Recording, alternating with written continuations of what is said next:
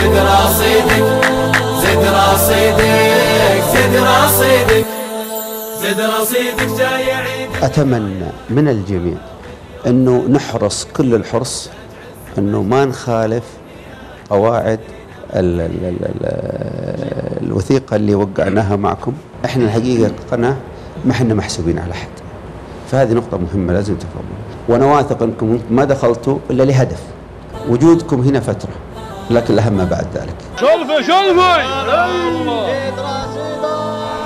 خاضوا مراحلهم الجديدة وأهدافهم المرسومة لم يتحدثوا عنها عبثا مع انطلاق فرصتهم الموسم الماضي.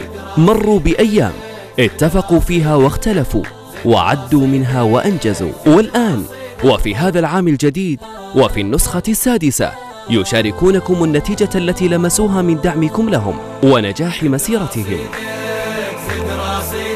أكبر مكسب لي إنه تعرفت على أشخاص أنا بالنسبة لي أفتخر بهم طول حياتي. الفوائد والله كثيرة. تعلمت الصبر. يعني أحس إنه إني دخلت برنامج اختبار صبر أو أو أختبر قوة صبري. معرفة الشباب اللي كانوا موجودين معانا. تعرفت على ثقافات آه، مدنهم مثلا من شمال المملكة من جنوب المملكة آه، وعاداتهم. هذه أضافت لي شيء يعني جميل جدا واكتشفت أشياء ما كنت أعرفها. واستفدت شباب تعرفت عليهم ونعم فيهم وأيضا الناس اللي شغالين في القناة كلهم. وصار عندي سيفي يعني جميل. استفدت احتكاكي بالمشايخ والضيوف اللي جانا لهم وزنهم بالمجتمع. وهذا أكبر فائدة استفدنا منهم. استفدت على الصعيد الشخصي زيادة الثقة في النفس. تعلمت كيف أدير فلوسي. أمور مالية.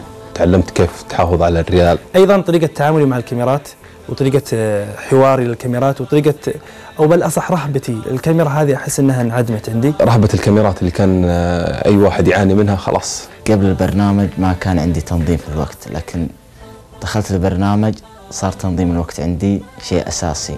في زد رصيدك طال عمرك ممكن أكثر شيء استفدت اللي هو التجربة الإعلامية. من ناحية ال- التفكير الأبعاد الكثيرة في من ناحية إخراج الكلمات يعني التحدث. طريقة تعاملي مع المسرح كفقرات المسرحية والأشياء هذه أنا أشوف إن هذه أضافت لي أشياء كثيرة آه، واستفدت له من خلال برنامج زد رصيدك كان في تجربة إعلامية جميلة جدا بالذات إن البرنامج كان واقعي. استفدت إني كيف أصنع مجدي وأصنع طموحي وأواصل له إلى اخر رمق في الحياة.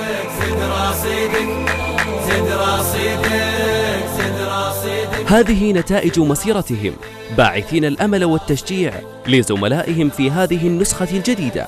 وحال لسانهم يقول كما كنا نتمنى أن تكونوا. فالنجاح دائما سلسلة يقوي بعضهم الآخر.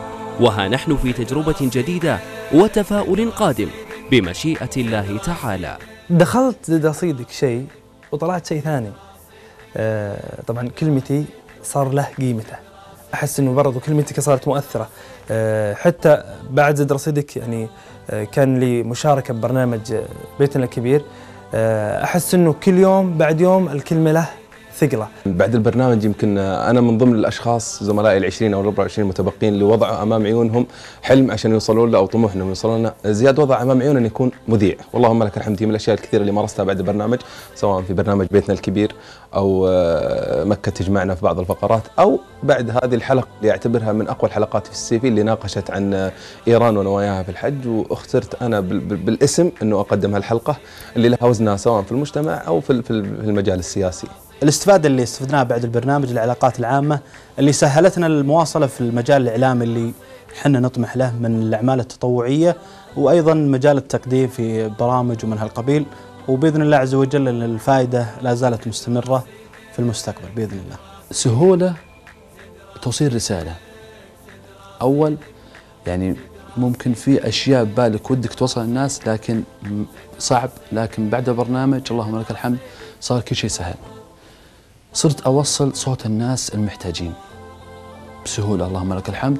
وفي ناس كثير اللهم لك الحمد استفادوا من توصيل الرسالة أو توصيل الصوت. بعد زد رصيدك طبعا أكثر فائده أتوقع عند الجميع اللي هي اللي هو معرفة الناس ومحبتهم ومقابل الجمهور والمهرجانات وال... والأشياء اللي يعني آه واجهناها بعد البرنامج.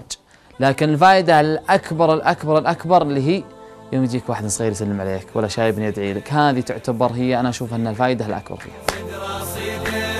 زد رصيدك رصيدك زد رصيدك